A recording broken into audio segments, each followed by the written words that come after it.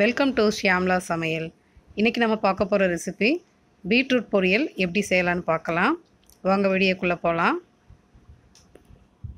ஒரு வானலில் ஒரு டேபிள் ஸ்பூன் எண்ணெய் சேர்த்துட்டு எண்ணெய் ஓரளவு சூடானதும் ஒரு ஹாஃப் டீஸ்பூன் கடுகு சேர்த்துக்கோங்க.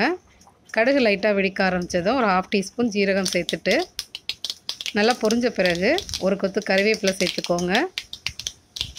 சேர்த்துட்டு ஒரு பத்து செகண்டில் ரெண்டு காஞ்ச மிளகா நான் சேர்க்குறேன். கட் பண்ணிவிட்டு இதில் இருக்க விதைகள்லாம் எடுத்துகிட்டு சேர்த்துக்கோங்க. சேர்த்துட்டு இது எல்லாம் நல்லா பொரிஞ்ச பிறகு இப்போ கட் பண்ணி வச்சுருக்க பீட்ரூட்டை சேர்த்துக்கலாம். பொரியலுக்கெலாம் நல்லா பொடியை அந்த மாதிரி கட் பண்ணி சேர்த்துக்கோங்க. சேர்த்துட்டு இதை நல்லா கலந்து விடணும். அடுப்பை வந்து சிம்மில் வச்சுட்டு இதை நல்லா வேக விடுங்க.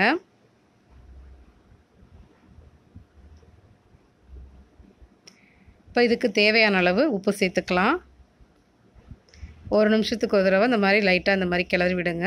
அடுப்பை சிம்மில் வச்சு ஒரு பத்து நிமிஷம் அப்படியே வேகட்டும்.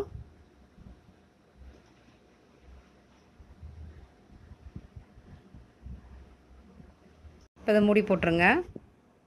இப்போ நல்லா வெந்துடுச்சு. ரொம்ப சூப்பரான பீட்ரூட் பொரியல் ரெடி ஆயிருச்சு. இதே போல் நீங்களும் செஞ்சு பார்த்துட்டு எப்படி இருக்குன்னு கமெண்ட் பண்ணுங்கள் தேங்க்ஸ் ஃபார் வாட்சிங் நீங்கள் இந்த சேனலுக்கு புதுசாக இருந்தீங்கன்னா இந்த சேனலை சப்ஸ்கிரைப் பண்ணிக்கோங்க. கூடவே பக்கத்தில் இருக்க பெல் சிம்பிளையும் கிளிக் பண்ணிவிடுங்க அப்போ தான் நான் உங்களுக்கு அனுப்புகிற ரெகுலர் வீடியோஸ் நோட்டிஃபிகேஷனாக வரும்.